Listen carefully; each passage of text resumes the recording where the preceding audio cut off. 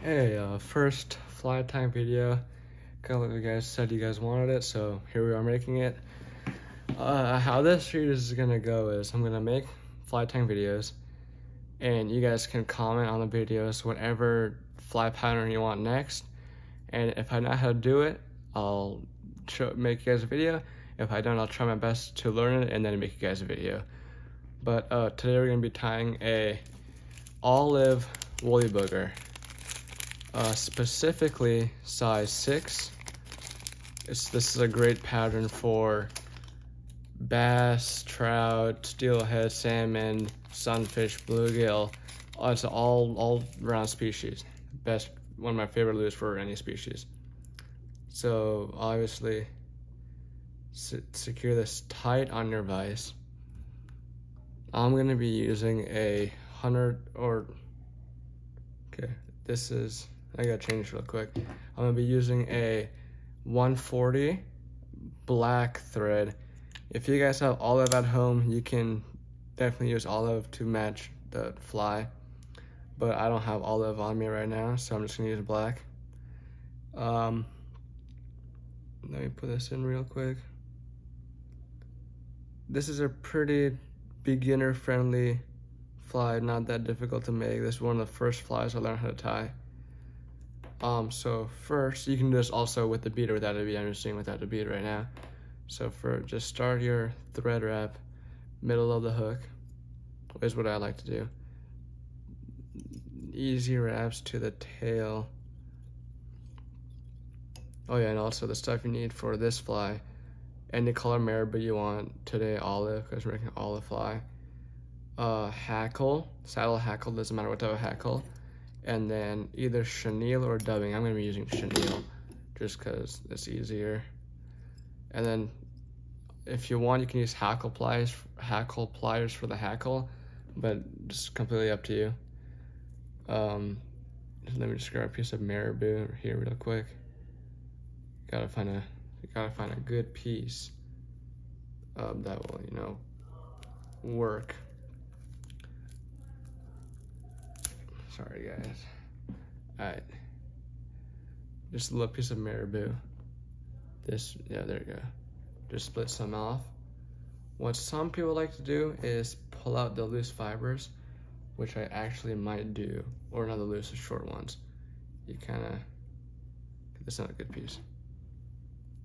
That's not a good piece either, actually. Too small. Yeah, so I'm gonna do it. Just you know, grab it right there, pull it out. Don't use scissors because scissors makes it look uh, like not natural, which obviously I want it to look natural. Just keep pulling it out till it sort of looks like that. There we go. Did it a bit too much, but you know, should be fine. So kind of measure it from eye of the hook to the back and just transfer it over to the back.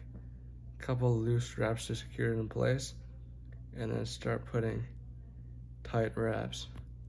Once you got it secure or not completely secure, cut the marabou off at an angle. Leave that there just for a second wrap up, secure that. Uh, bring, bring that down, cover it all up. Not all of it, but know. There we go. Bring your thing back up. I like to tighten it right there and then go under the marabou once or twice to secure it in there really well. Improves the durability, obviously bring this all down now.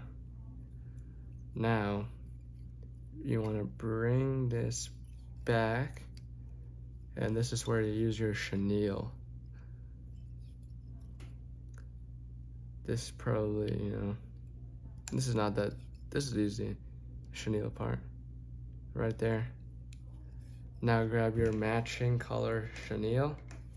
This is obviously dark olive cut about, I like to measure it off my desk. Uh, about five inches. Don't cut yourself short. You know, if this is in frame at this much. This actually might be too short, but it's fine. We'll deal with it. Secure it in the back. Just a couple wraps. It's usually if you hold this in your mouth.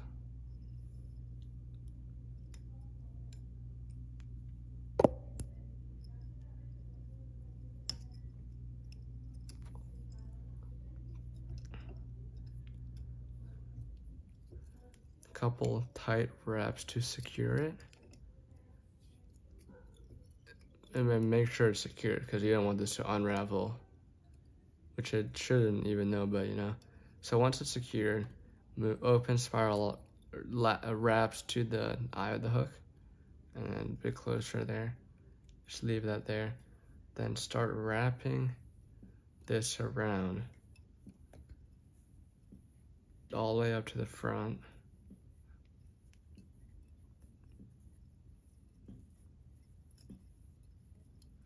trying to do this as quick as possible. So there we go, we kind of got like an inch of extra, but does not matter one bit.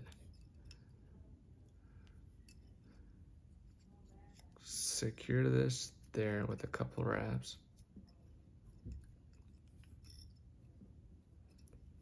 Cut this, cut the extra off, just like that couple more wraps just to secure it in place. Now, we add our hackle. This is probably the most tedious part. You can get any color you want. Um, as you can see, this is more of a yellowish, this is more of a greenish. I personally like the this yellowish because it matches with the tail, but you can use any color. Uh, that obviously matches. Um, kind of peel off bit of the fuzzy part. See that? Just a bit of the fuzzy part right there. Cut this off about quarter of an inch. And then you have a little bit of the stem left. So secure that at the front Oh, came off.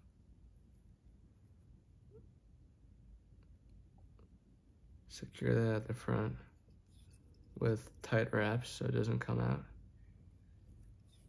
And then you can either use hackle pliers, right, or your hand, does not matter. Hackle pliers are a bit easier in my opinion.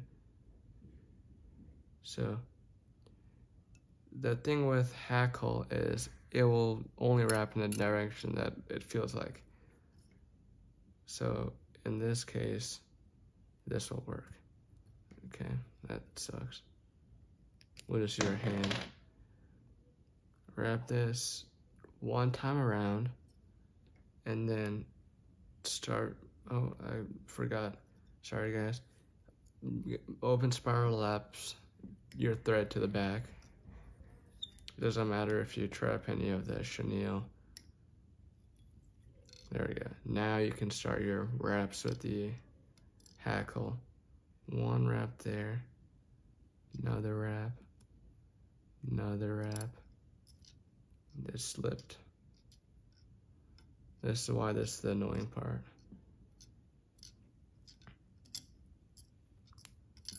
These are pretty close together. I would honestly right here restart the fly. But yeah, we're gonna restart this. There we go. There. Then there. Make sure this is not twisted. There. Make sure this is not twisted again. There again.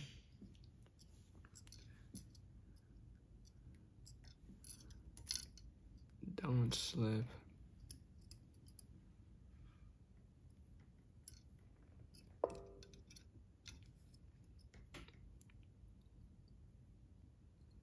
Now you would secure that end of the hackle, cut off the extra, if I can reach it. right there. So now you want to get your thread back up to the eye.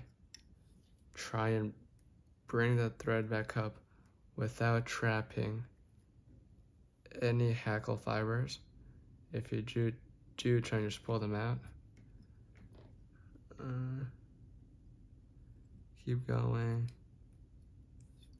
Trying not to trap any.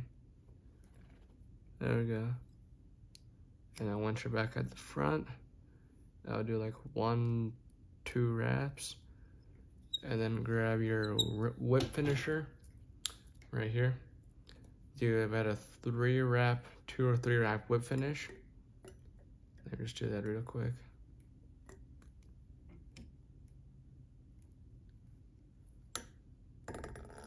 There we go.